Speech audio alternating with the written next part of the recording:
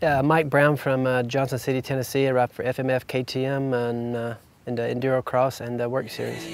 Mm,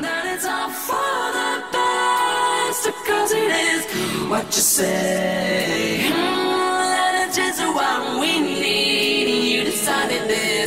What you say.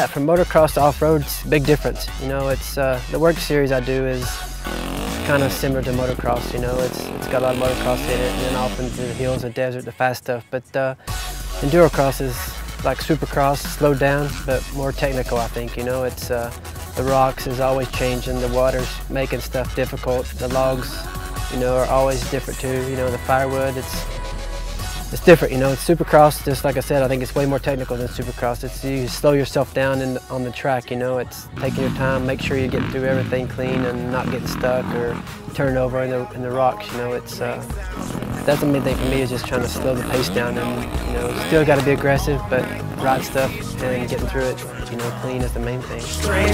Yeah.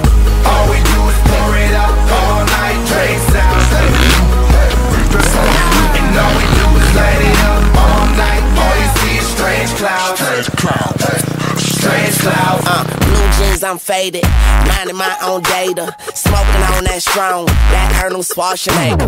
It's totally you bitch, you. You hot as an igloo. Kick back on that Glock. Call that jujitsu. Hello, I'm with a yellow girl. Number two pencil. These rappers is washed up. Spin cycle. Rinse you, my nigga all day, all night, half pipe. I dive in that pussy, yeah, I belly flop, I jackknife and shit. Tell my homies that I say it's a party. Yeah, got that tech for technical difficulties. I'm top dog, you top rhyming, I'm top dog. Pyru, gangsters.